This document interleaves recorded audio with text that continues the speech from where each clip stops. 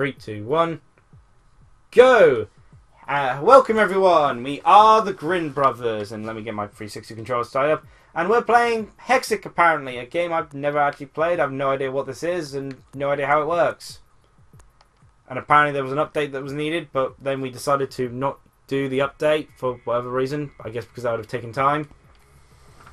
I guess I must have accidentally included a space there because. Oh well, oh well. Um, yeah. Uh, Is this multiplayer? oh, you just rotate. Okay, is is it multiplayer? I don't know. I couldn't see a multiplayer mode, so Oh, so once again, I am uh, just watching around. To be fair, you already finished your one thing you had left to talk about, and that was Digimon. Although, to uh, wi- during when we were recording earlier, though to be fair, you can always talk about Digimon season five, Data Squad is good, especially because it's, you know, not season four. yeah, it's after season four. Was so- it that called? Frontier was it? Digimon Frontier, or a Yeah. little worrying that I could remember that off the top of my head. Whereas this is Digimon Data Squad. Yeah. Uh, well, got- this isn't. This is Hexic, but no, you this know. is Digimon Data Squad. Only a scrub wouldn't recognise the clear Digimons in this. Yeah, you can clearly see Marcus punching these Hexic blocks. They're Digimon. They are. It's. It's obvious that This is a very b- bore- visually boring game you decided to put on. For I don't know when editing, I go first from fireworks, although Um, actually throwing a picture for some reason with your editing program blocks everything, doesn't it? yeah. So Sorry, I'm entering like a deep trance. I'm just losing. just just change the color of the screen if you can. Um, M- Make everything tinted pink or something. I'm losing my ability to think slowly as I play these games. I Um, could have relieved you with some co-op play, but there is none. Digimon Data Squad is uh, significantly better, although its art style completely changed. You thought it's- you were watching Totally Spies, it- didn't you? Yeah, it does look. you can't argue. It does look. No, like it does, Totally it does.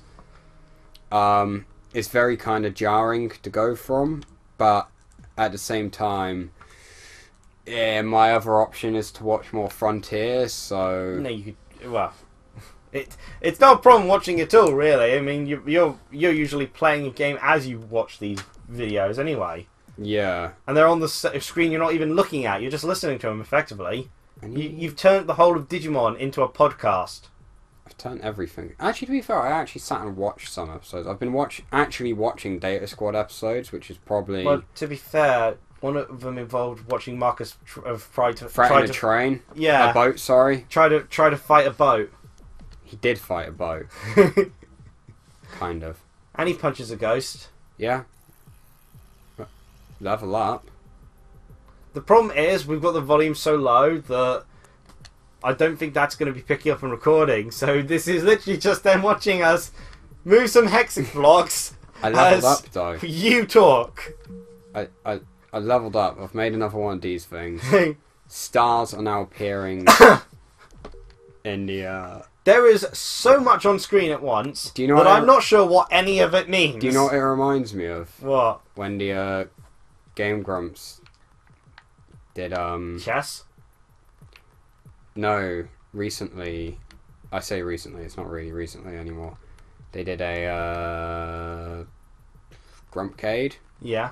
Of Hit and Run. Simpsons Hit and Run. Yeah. But they like turn off all the sound effects and music. Why would they do that? So it was just voices. None of the cars made any noise. It's just like this dark void. It was hilarious. Why? 'Cause it was funny. This is what it reminds me of. also kind of reminds me of, unfortunately, um, Sega Tennis.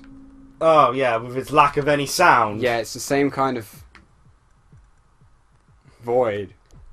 Uh, watching you play this puzzle game, I guess it reminds me of well. You have Puyo Puyo Tetris. Yeah, I've got Puyo Puyo Tetris. I've yet to even go on the single pl- story mode because I wanted to get somewhat good at it, but then I realised I suck at Puyo Puyo Tetris. I'm better at it than I was Robotnik's Mean Bean Machine because it's not, It's not as hard. cruel. But apparently, I am so terrible at Tetris that I keep getting my ass handed to me each time I try to do the Tetris gameplay. I've yet to even try out the Fusion gameplay, but I'm trying. I've basically recorded two videos now. My first match, which I somehow won, of Puyo Puyo, I did a thing. and my second match again. I've basically recorded two videos now. My first match, which I somehow won, of Puyo Puyo, I did a thing. and my I second did a match, thing. and my second match against a normal level CPU as I played Puyo Puyo, and I've recorded both of these. I'm probably going to upload them. Like I'm considering uploading them as like a weird random mini video where I analyze just how I managed to win these, so I can understand what am I apparently doing right in these matches, whereas like the four or five other times I've played these sort of versus matches, I've apparently failed at. Because I've been able to beat the computers when they're on very easy and easy, but normal, they start to get difficult, particularly with Tetris, where I've been slaughtered every time. Apparently I just wasn't able to put up any fight there. There's a there's a lot I need to discover before I even decide to go in the story mode. For all I know, the story mode could start off really easy, you know, like a game should do, and won't just immediately throw me into the fire. Heck, it might even have a difficulty option so I could play through the entire game on easy and actually win. But what if its difficulty option is akin to Bomberman? Into what? Akin to Bomberman, Oh, where all you Well- experience is hell. I'm I'm never going to end up getting very far in Puyo Puyo Tetris. Admittedly, I you know I might I bought it for uh, various reasons. One was because I've always wanted to try a, a proper Damn. Puyo Puyo game, and another being the I kind of want to send a message to Nintendo to hey you know you should really support uh, your puzzle franchise you actually have. You know maybe reintroduce it, actually bring it worldwide. Level up. Yay! Beware of bombs. Each move you make causes a bomb to count down. Use the cluster before its count reaches zero or it's game over. Mm. Okay. This is truly thrilling. It's not even got any characters on the side. At least with Puyo Puyo Tetris, you've got some really nice character artworks on the side.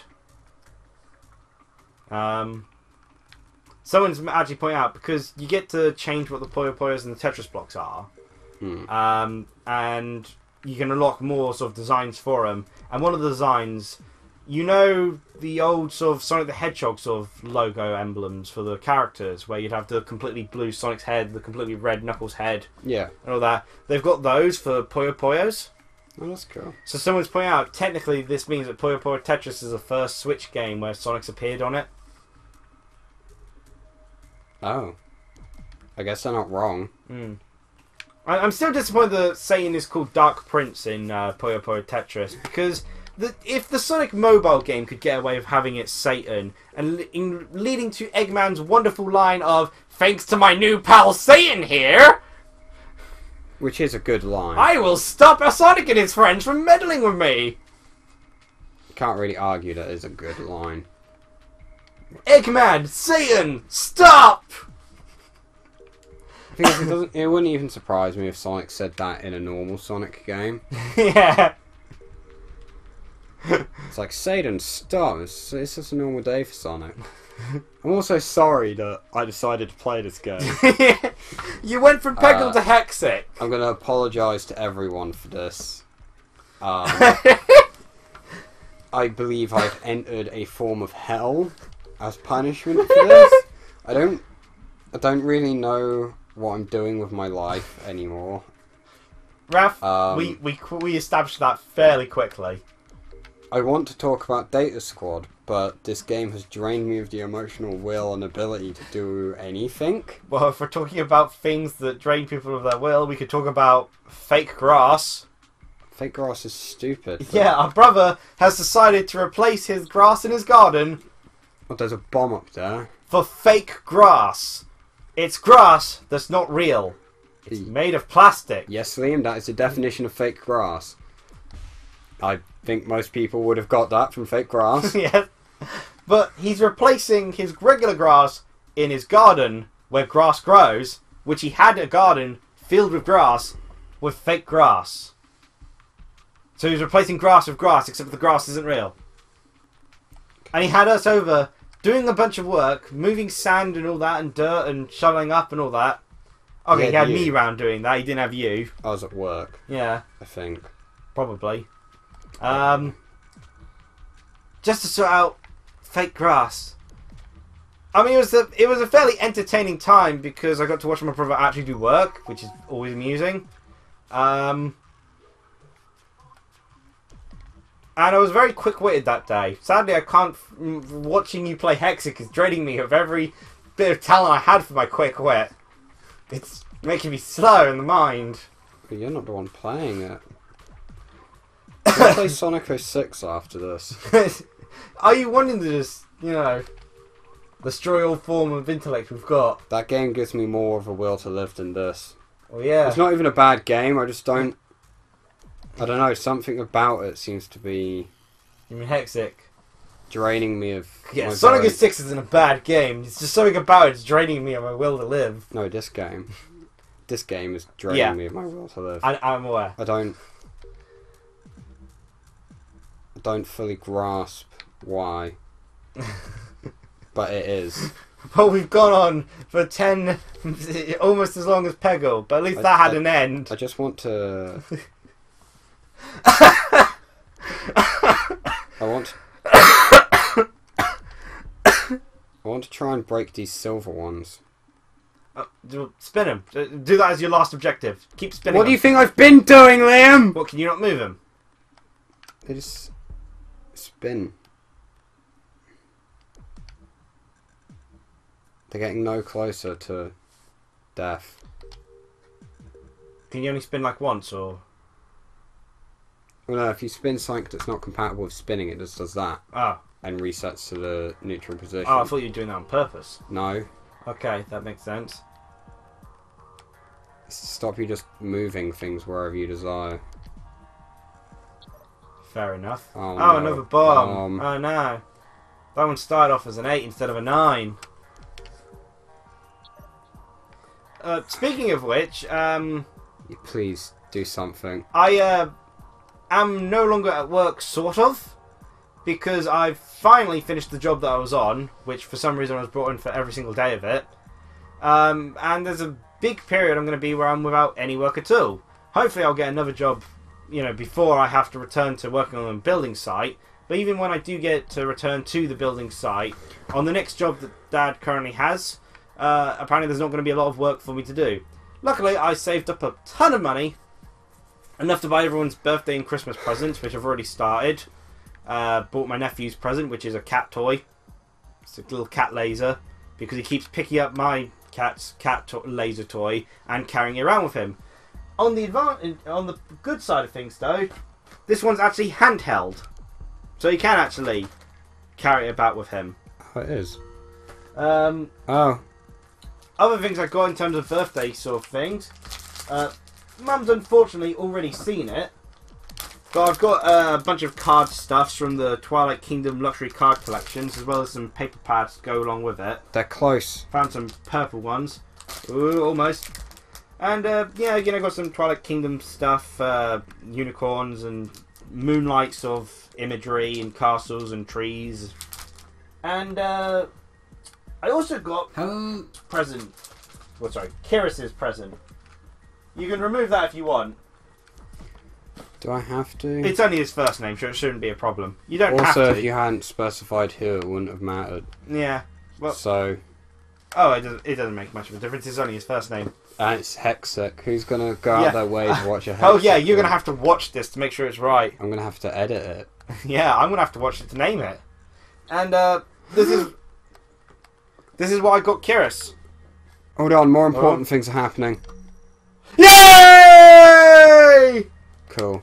He yeah, we can end. But yeah, and I got these uh little things, uh teacup candle cute. and an ice cream sundae candle. They look tasty. I'd eat them. Yeah. I'll just quit the game, by the way. I didn't even quit it through in-game methods. I just left. Well, Um, I hope you enjoyed over 14 minutes worth of uh Hexic. Cheerio, everyone. Goodbye.